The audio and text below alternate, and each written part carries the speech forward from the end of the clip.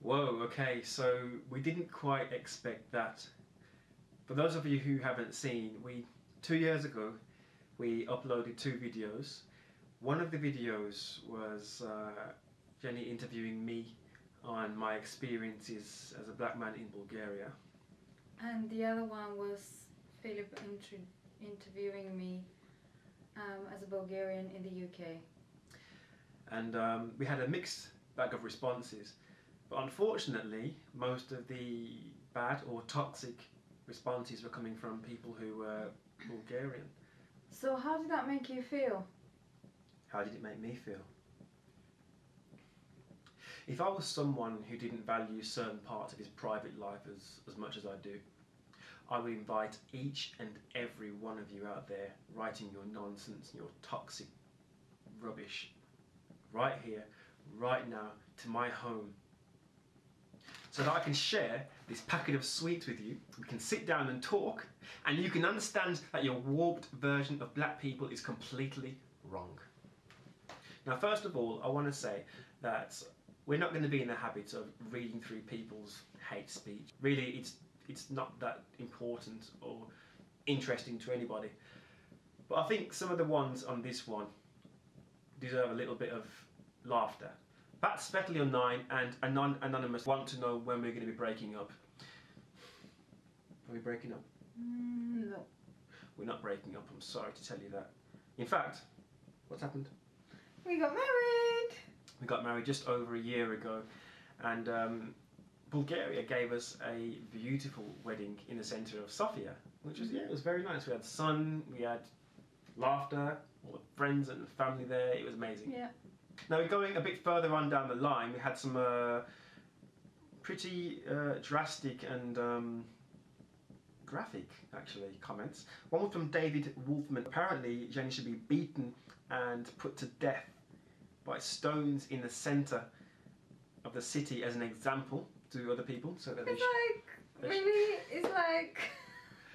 it's, it's a very drastic thing It's to bit be done. extreme. very extreme. And um, apparently, uh, according to Synagogue of Satan 1, uh, black people are violent, and nine out of t- n- there's a 9 out of 10 chance that you'll end up murdered and stuffed in a dumpster, so you should be very careful. Have you been murdered?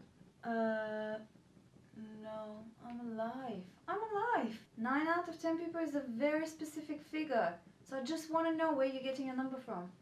Austin Ross and Edgy Faggot both have uh, very colourful views about what our children are going to look like. Uh, apparently, they're going to be goblins. Goblins, it's like why goblins? There's so many mystical creatures. That one really made me laugh, yeah. But on a positive note, I do want to reach out to the people who've been uh, very positive with their comments and encouraging. Um, it is good to know that there are people out there who don't have such narrow-minded thoughts and Perceptions. perceptions of the world around them. It has to be said that these comments don't mean anything to us. They have absolutely no effect on us whatsoever.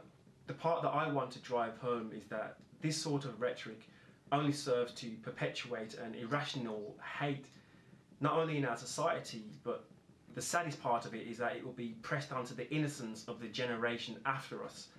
And they don't deserve that. Yeah, and leading on to the uh, back of that, I just want to say that my heart goes out to the people who are maybe emotionally insecure or who may suffer from depression or who may not be as confident in the real world. These are the sort of people who would be more susceptible to the words that are coming from other people. Mm. And if, as a society, we continue to spew such hatred and irrational, toxic language, it can only serve to to devalue and and Degrade our humanity, yeah. I think it's pointless. And unless you've got a, a a specific and strong argument for saying something, and even then, when you say, you can bring it across in an educational way. Exactly, exactly. You know, it's pointless. But um, I guess these people will always be around. And maybe I'll leave you with this as a thought. Um, you were born born like a blank piece of paper. You see your mom, you see your dad, you see the people around you, but when you are a baby and as you grow up, you actually have no perception of color. You only know that you might be different when you see somebody who is different than you and somebody points it out. So before somebody gives you a decision to be racist, think if you actually have been born racist because I don't believe that any of you have been born racist. And I am a Bulgarian and I think you're wrong and you're not representing Bulgarian people in the right way. That's actually true. I mean, going to Bulgaria, it's, it was an amazing experience. I've been there eight, eight or nine times now, or something yeah, like that. Stop counting. Stop counting now. The people there are amazing, and I, I think, um, in fact, I'm hoping that the opinions shown on these videos are from the minority. When I grew up, um, I never saw colour, and the people that are around me, they didn't show that they saw colour either. You know, we were just completely neutral, and we treated each other as such. Are we how we are because of the environment that we were brought up in, or are how we are, are we how we are because of something that's inherent inside of us? Yeah, we just wanted to make this video to say that we're still here, and we hopefully will be making more videos in the future, time permitting. Somebody who valued certain parts of my privacy as much as I did, I would say to all of you people out there, all of you people who are commenting about if I was someone who didn't value certain parts of my private life, There's no point. I don't know what to do. I'm sorry.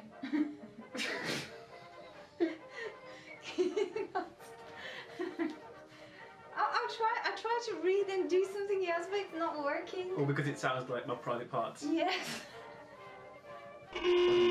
Every single one of those people who commented like that. For goodness sake. I can't. It's it's when you say that, it's it's very funny. If I was someone who didn't value certain parts of my privacy as much as I did, You know, do you have to say certain parts of my privacy because it sounds like you're cooking? You know certain parts of my privacy? Can you not do this without without me? Okay, I don't know what to do. I'm not doing it on purpose. okay, okay.